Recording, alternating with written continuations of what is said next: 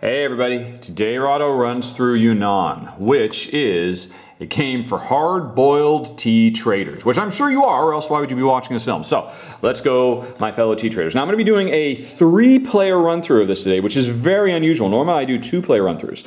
And in fact, well actually Yunnan proudly proclaims that it is a two to five player game. But in all honesty, I would beg to differ with that assessment. To me, the two player variant of this game, well, you know, uh, if you can't say anything nice, don't say anything at all. I'll talk about it a bit in the final thoughts, but suffice to say, I feel to actually properly demonstrate this game, I'm going to be doing a three-player run-through, although it does go all the way up to five, and I think the more players you have, the more interesting it gets. But still, three players should give you a pretty good idea of how this game plays. And like I said, I'll talk about two-player and my feelings of that in the final thoughts. Anyway, so today I will be the green player, and as the first player, I start with nine bucks. Jen will be the purple player. She also starts with nine bucks. That's a six, not a uh, nine bucks. And the third player will be Tula, our beagle, who as the third player gets 12 bucks. And actually Tula, Tula, Tula, Tula, hello, oh, yes. She says, what? Why do you pester me so? But anyway, as you can see, she's a blonde beagle, so she will be the yellow player. Thanks to, okay, as you were. Alrighty, so the game plays out. We are, as it says, tea traders. We are uh, we are in the Yunnan province where we make the greatest tea in all of China, and we want to ship it from our our central market here in Pu'er out to all the various provinces, out to Yunnan, out to Sichuan and Gambo, and then ultimately out to Tibet and even far away uh, Qinghai if you can imagine, so far. And the further we ship our tea, the more money we make, and money pretty much equals points in this game. So that's what it's all about. And every round of this game takes place in two halves. The first half of every round is an auction where we are using our traders, these little meeples, to basically bid for uh, the access of these different progress buildings that give us different advantages and abilities. And then for the second half of a round, any of our traders who did not engage in the, the the bidding auction stuff. Instead, we'll get sent out into the world to make us money so that in the next round, we'll have more money to do more um, progress so we can be better and so on. So it's, it's a really straightforward, fairly streamlined game, but it, its core thing is this notion of, okay, I start the game with these three workers. Do I use them to get more abilities, or do I skip on that and use them to make more money? And how do you balance that? And we're going to be doing that today, so let's get going. For, for starters, like I said, I've got nine bucks. And I'm going to place my first bid in the auction. And by the way, there are one, two, three, four, five auctions going on in the game.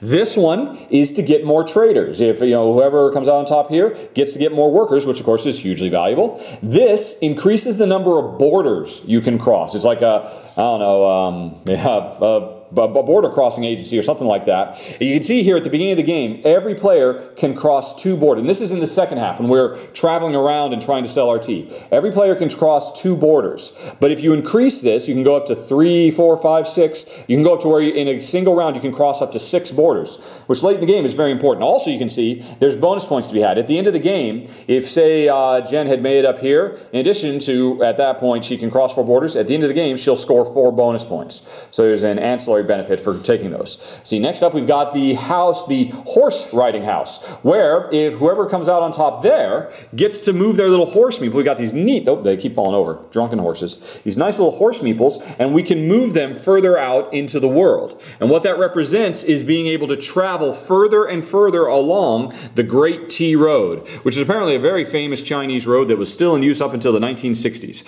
uh, according to the rules. But anyway, so we can increase our range by using using the horse building.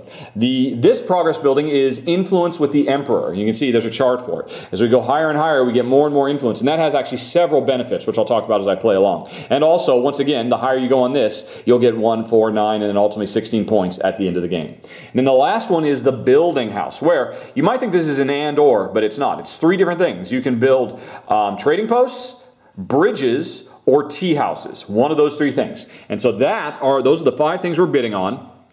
And as well, there's also a bank we could go to to get some more money. I'll talk about that in a bit if, if it comes up. Let's see. So I'm going to place my first bid. And, you know, how could you not want more workers? So I could come over here and make my bid of five.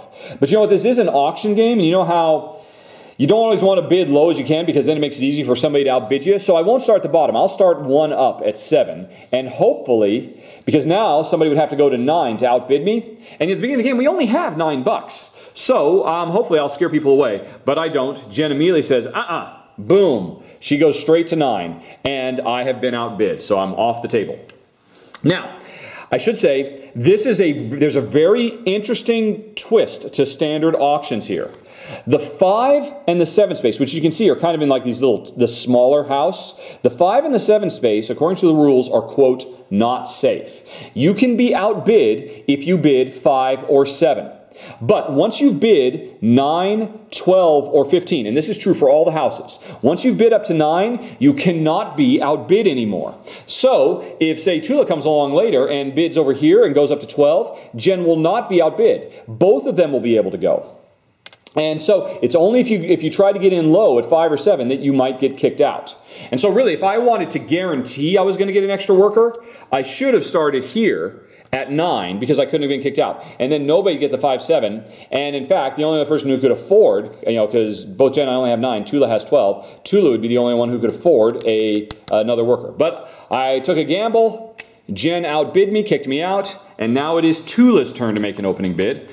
Hey, Tula. Let's see. Well, Tula is a beagle. Of course, she likes horses. So let's say she comes over here and she tries to get in cheap on the extend your range house, progress house. So she bids five on that. All right, and now it's back to me, my second bid. And by the way, the bid order is always referenced right here. Me, Jen, and then Tula. You know, green, uh, purple, yellow. So I get another bid.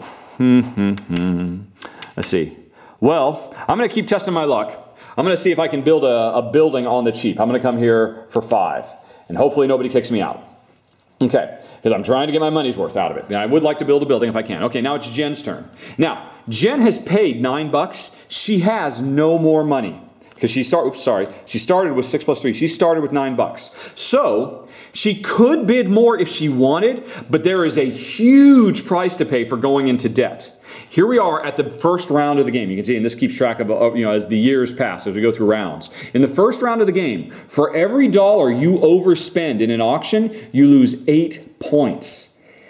And you know that could be debilitating. You know maybe overspending by one or two is acceptable. You know to lose eight or sixteen points, but you know the lowest bid that anything, the lowest anything Jen could bid on would be another five. So I mean she would lose way, way, way too much. Forty bucks, forty points to bid on something. She can't really afford to incur that kind of debt. It's crushing. You know, Martin Wallace, um, you know, uh, eat your heart out. This game's loans just completely can crush a player if you're not super careful. So I don't think Jen's going to bid anymore. So that means she's going to pass, which means she takes her other two workers and she puts them over here in the market of Puer. And what that means is these two guys are earmarked for the second half of the round to go out into the world and make Jen more money. Okay, so anyway, so that was Jen's second move, and she's basically out of the bidding. All right, and now it's up to Tula again, and Tula says, you know what? You, Tula wants to build a building as well, and so she's also going to jump in. And once again, I've been kicked out. This is my this is uh, what I get for continuing bidding so low. So now Tula, and you can see Tula has 12 bucks, so she can afford the seven plus five. And she's pretty much bone dry now as well. And so now it's back to me, and I've still yet to bid on anything successfully. And so what do I want to do? Now, actually, so again, I've got nine bucks. I could kick Tula out, just like Jen did to me. But now I'm thinking actually something else is interesting. You know, I could come over here. And in fact, the nice thing is now that I know that neither Jen nor Tula have enough money to bid anymore, I could come here or here and guaranteed get these things for five. Alternatively, I could kick Tula out. But I got something else in mind. I'm going to go to the bank. What that means is I come over here, and you can see there's two spaces. The first player to go to the bank gets the nice space. The second player could get the bad space if you, if you wanted. But this means I'm going to make some extra income. And the amount of income I make is based on how much everybody spent. And I'll demonstrate that in a second. But one thing I will say, if, for example, actually, you know, I'm going to demonstrate a little bit differently. I'm thinking, heck, you know what? Maybe I'm going to go, I'll, I'll bid on the emperor, right? And it's going to cost me five bucks, fine. And but I'm but I'm also going to change my mind. This is another thing about this auction. You can change your mind. So I uh, bid on that. And now Jen, she's already passed. Tula says she has no more money. She doesn't want to incur debt, so she's going to pass as well. So she's got one person to send out into the world. Whereas I've got, you know, and then Jen's got two, and now it's my turn again. So I've still got four bucks, although I, you know, so I could come over here and I could incur one dollar's debt, um, or I could kick Tula out, and that means if I kick Tula out, even though she's already passed, she would unpass to try to um, you know, start bidding again. Oh, by the way, I forgot. When Jen passed, she marked this as a marker. Uh, we always forget to do it. Doesn't really matter because it's obvious when you pass because everybody puts their stuff there, but you put these little things here to indicate you've passed. But anyway, so now it's my turn again. And you know what? I'm thinking about it more and I planned a little bit more and I decided, you know what? I'm going to go to the bank. And what happens is when you go to the bank, you immediately, the only, if you go to the bank, that's the only thing you can do. So you have to immediately pull out of any auctions that you are already in and you have to send your other guys to the market in Puer. Because the only thing, if you go to the bank, that's all you can do. It's a very important thing. And this can create some interesting situations. Like, say, in a later in the game, you know, I had bid 9 on this, and then Tula had bid 12. And then later on, I changed my mind, and I go to the bank, and then suddenly, the nine spaces available. But it's too late for Tula. She's already bid 12. She can't get it for cheaper. So the, it's a really interesting twist. There's a couple of interesting twists on auctions. The fact that only the first two spaces you can get kicked out of, and that you can change your mind and pull yourself out of an auction and kind of change the landscape for everybody. So anyway, sorry, uh, so anyway, so Tula got this for five. Right, okay. So, and that means basically I have now passed as well because when you go to the bank, you're done. You can't do any other bids.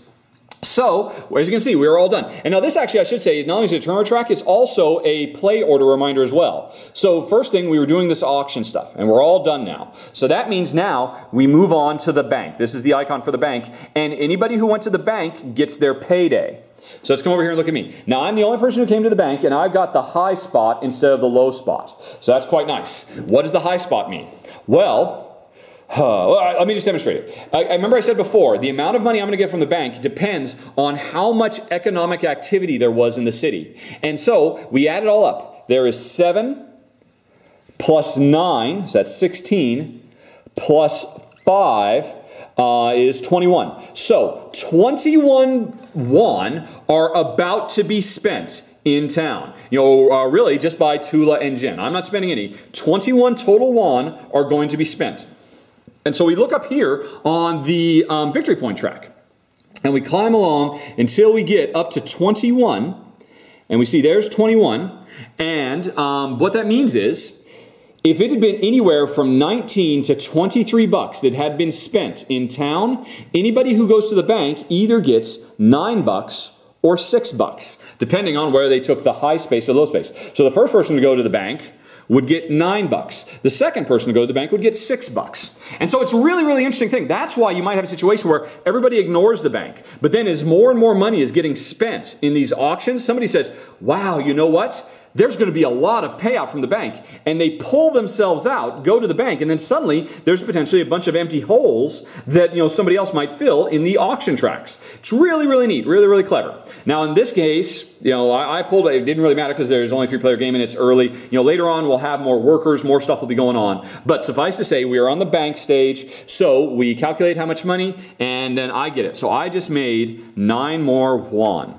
So I haven't spent anything, and I am now the richest man in Yunnan. Woohoo! Okay, so we finish the bank. Then we move on to actually paying, you know, an actual payout for all these yeah, yeah, for, for, for all of these uh, auctions we engaged in. So let's go through it. And you actually are supposed to go in turn order. So first of all, any auctions that I had been in, I would resolve, but I wasn't in any. So now Jen is the second player, so we resolve hers. She only came out in one. It was this thing over here. So she now has to spend nine bucks, which is all of her money.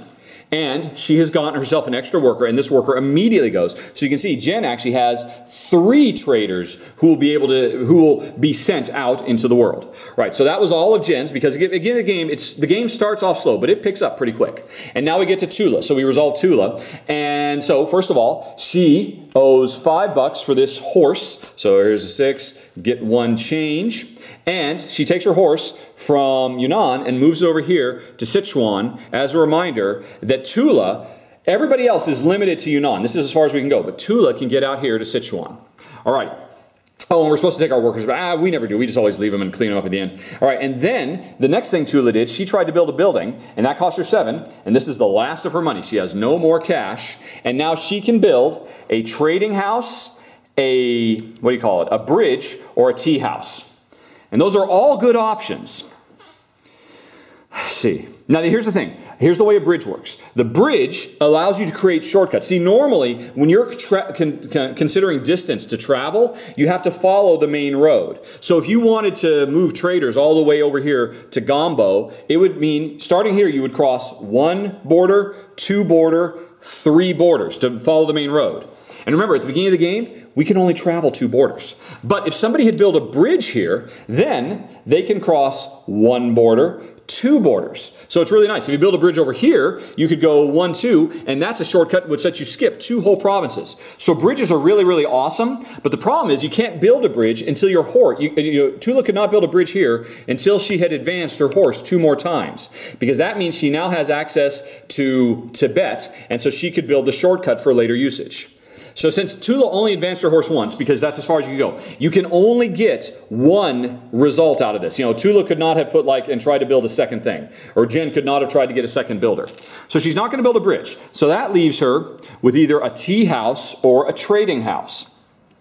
And they both are very, very different. Let's talk about the tea house first. Now, every region has a space for one tea house and only one. So if, if Tula can build her tea house here, or instantly she could build it here because she has access to both of these regions.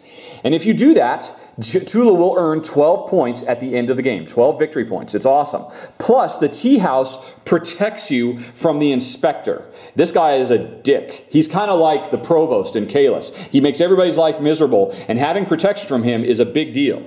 So if Jen builds a, or I'm sorry, if Tula builds a tea house here, it would protect her from the, um, what do you call it, the inspector. Plus, she will also score 12 points at the end of the game. And that's it. That's all it does. Once it's built, it can never be moved. Now, I think Tula's going to be thinking a little bit more long term. She's going to build a trading house in, in um, what is it, in Yunnan. Now, because she's built a trading house in this region, this trading house, every turn for the rest of the game is going to earn her $1. At the end of the round, it'll earn her one yuan. So basically, she built this trading house for free. She had to spend seven to build it, but over the course of the game, it will return income of seven, so it'll have paid for itself by the end. But it does something else very important too, which is it helps her extend her trading chain. But I'll talk about that in the second half when we start to explore the uh, you know the, the actual outer world. Okay, so that'll come in the second half. So Tula spent seven bucks to build a trading house, and again, now she could have built it here or here. She could have built it in either region. And unlike tea houses, there's no, everybody could get a trading house built. There's no, um, you know, first come, first serve. Tula's going to build it in this region, though. Interestingly, if she built it in this region, it would earn her three bucks every turn for the rest of the game. So this might earn her up to 21 points. But I think she's going to do it down here, and there's a good reason for it, and you'll see that in the second half when we start exploring. Okay, so we have now finished resolving the auction houses, the one, two, three, four, five auction houses. You know, Jen got an extra worker, Tula got a horse, which extended her reach, and she built a trading post here. Right, and I didn't build anything. I got my money out of the bank. So everybody else is totally broke, and I am swimming in dough. So that'll be nice for the next year's auctions. I can afford to drive prices up, etc., etc. Okay, so now we finish that, and now we move over to the second half of the round. And you, you, can see we literally move our markers over. Boop, boop, boop. And now turn order is reversed. In the auction phase, I was the first player and Tula was the last. Now, in the travel phase, Tula is the first player and I'm the last. So it always makes that swap halfway through. So we are now going to do it, and Tula is the first um, trader who gets to travel.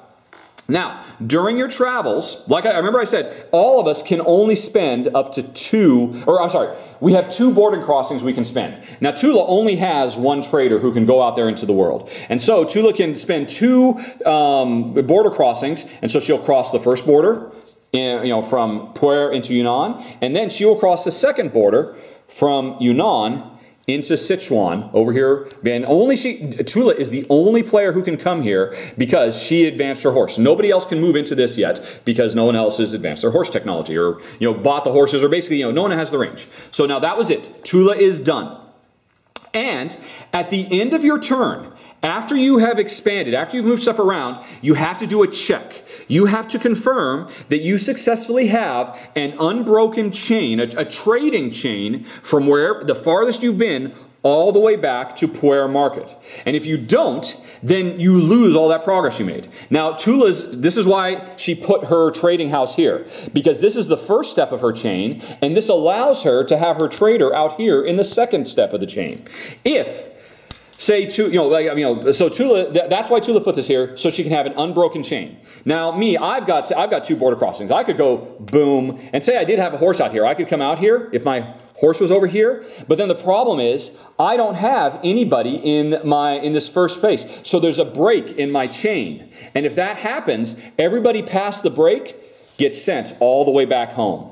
So it's really important as you're doing your long-term planning, as you spread out, you know, from Yunnan all the way out to Tibet and uh, and uh, King or uh, Qinghai or however you pronounce it that you have to keep that, that chain built. And so that's why Tula took the lower income for her trading house so that she could get the higher income by having her trader. Because you can see the trading house would have made three, but her trader out here makes nine. So between the two, she's going to make nine, ten. If she'd gone the other way and had a trader here and the house there, she would make three plus um, six is nine. So she'd make the same amount of money, but because she's all the way out here by herself, there are additional benefits that she's going to get when we get over here to the presence phase. And Tula loves presents. She loves treats. That's why she came out here. So that's why, you know, it would have been the same to have this out here and this out here, but Tula wanted to get the present. Okay, so anyway, so she is done. She's used her two border movements to go one, two, and then she did a spot check. Does she have an unbroken chain all the way back to where? Yes, she does. So we're done with her. Now we move on to Jen. Jen has two movement or two borders, but she's got three dudes to move. And so, what she's going to do is she's going to spend one of her two movement to move the first guy into Yunnan, and the second to move the second guy into Yunnan. And now, this last guy, she has no more border crossing, so he'll just stay home. And so these two guys, each of them will earn her six bucks, and this guy who stayed home will earn her three bucks. All right. And now, Jen also has to make a check. Does she have an unbroken chain? Yes, she does. From Yunnan back to, yep, she's fine. And so she's, and now me, I've got two dudes, and I've also got two movements, so I'll do the same thing as Jen. I'll move my two guys from Puer over to Yunnan. And so now, as you can see, there are four traders in this region who are all going to be making income. Um, Tula's going to make a little bit of income off her house, and then Tula's out here all by herself in Sichuan. Okay, we are finished. We have done the, the movement phase. Now the inspector comes, and we hate this guy. Now, He's going to come out here and he's going to cause trouble for us. He is drawn to whichever region is going to generate the most income. So if we look up here, this eh, region is going to generate nine income because there's one trader and every trader, it doesn't matter how, you know, it's spread amongst all players. There's only one trader, so nine bucks is going to be made in this region. In this region, there are one, two, three, four traders so that's 24 income plus this house. There are there's 25 yuan, yuan, or however you pronounce it, of income in Yunnan. So the inspector is going to come here. And so Tula is very happy about that because Tula is going to be is to, not going to be molested by the inspector because she's up here all by herself. If she were down here, remember, if she'd done the reverse, then she would have to face the wrath of the inspector also, and she'd be kind of screwed. But now, since she is up here unmolested, she makes less money. She'll make less money off of this for the rest of the game, but she won't be pestered by the inspector. All right. So the inspector has now deployed himself, and what he's going to do is, and this happens every round, one trader is going to be sent all the way back to Puer. And now, at the beginning of the game, it's not that bad. We're only going back one region. But you know, later in the game, when it's up in Tibet, and, the, and you got somebody all the way up here, and then the inspector shows up and sends him all the way back, that can be heartbreaking. That can just be devastating. I mean, you can go from earning 15 bucks to three. So the inspector is really dangerous. You know, so don't be fooled. In the first round, it's not that big a deal, but in later rounds, you, you have to really bear in mind what's going to happen. Where am I going to move? Where is everybody else going to move? What area is going to make the most money? And will I be protected? Because that's where the tea house comes in. If the, you know, if I had built a tea house in this region, when the inspector came here, I would be safe because I could bribe him with some tea.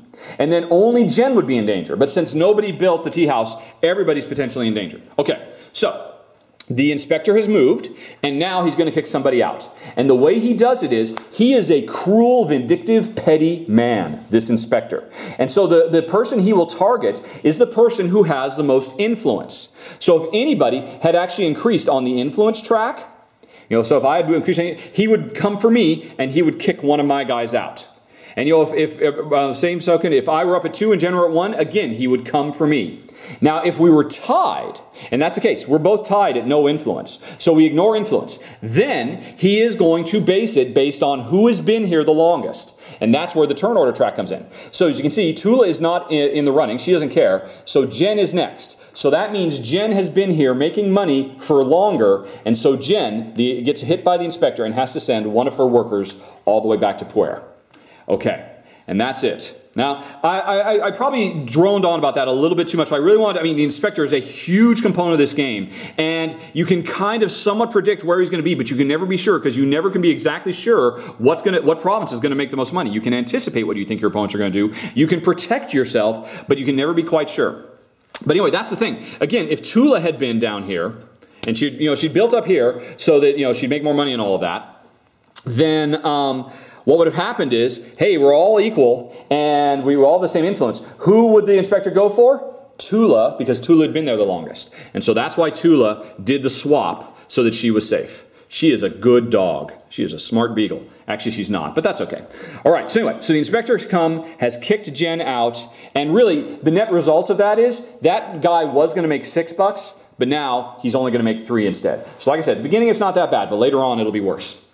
So we're done with the inspector. Now, oopsie, now we move on to presents. Now, there are no presents to be had. Yunnan, uh, the traders have been here for a long time. There are no presents. But Tula is the only person, the only trader up here in Sichuan, so she gets a present. It's worth three points at the end of the game, and that's a big deal. Presents can make a big deal. Also, the game is over when all the presents have been picked up out of all the uh, all, all, the regions. Well, there's two ways it could end. It could end when all the presents are gone, or when somebody scores 80 points, and it really could go either way. But anyway, so Tula has gotten a bonus three points for getting the first present. And she's set up to get additional presents as long as she stays out here. Because her trade, all our traders can stay out there as long as they want. The only thing that we can move them around or they might get kicked out, etc., etc.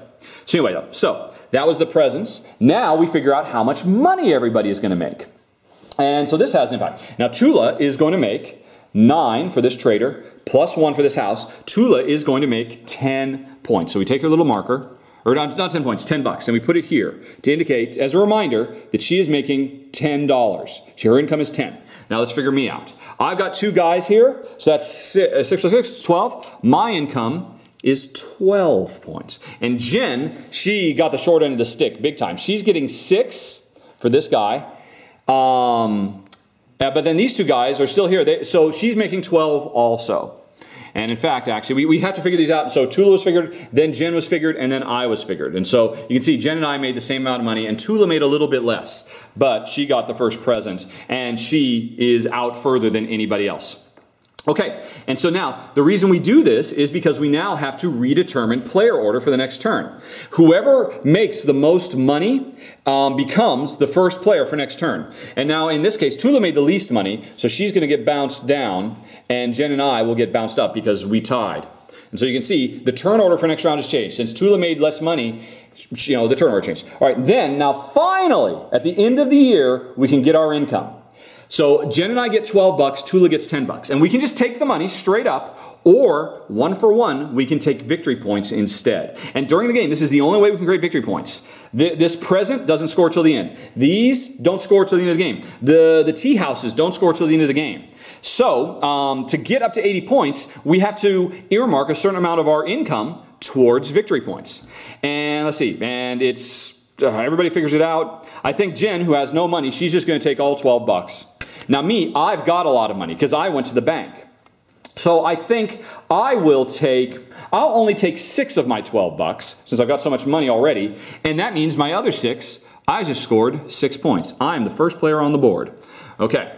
And then uh, Tula, she also has no money. She's going to take, is she going to take all 10? Hmm. No, I think she'll take nine, or yeah, nine and then she will um, take one point, one victory point. There we go. And so Jen scored nothing. She's got 12 bucks. And Now we reset, and so you can see Tula is going to be the first to bid, and then me, and then Jen. And we start on the second year. And now you can see debt gets a little bit, it's still crushing, but a little bit less crushing. And there you go. That was one round of Yunnan. Now the game generally goes for six or seven rounds. You know, maybe as little as five, if, if, depending on how things go, depending on how things fast things escalate. Because in this game, things escalate quick. And if you would like to watch another round and see some of that escalation and see the stuff you didn't see, like you didn't see influence, which is a huge deal. You didn't see increasing this. Um, you know, nobody went. Oh, oh, by the way, everybody gets their workers back. I forgot about that. So I take my worker back. Uh, Jen takes her worker back. Uh, Tula takes her two workers back and uh, these two on the market go back. So that's another interesting thing. I, I, I, have two workers out here in the world, which means I've only got one bid I can make, whereas Jen's got three and Tula's got two. Now, if I want, when I'm making bids, I can pull my guys back. It's a one-time thing. I could pull them back and have another bidder, but then that's six bucks less. I already had to spend some time to move this guy up. So, do I bring them back or do I leave them out there to make more money and only go with one bid this turn? Well, I've got a lot of money, so we'll see how that goes. But anyway, if you'd like to watch that, you can hit the button that's on screen right now for extended play, or alternatively, you can hit the other button and go to final thoughts. Your choice. In five, four, three, two, one.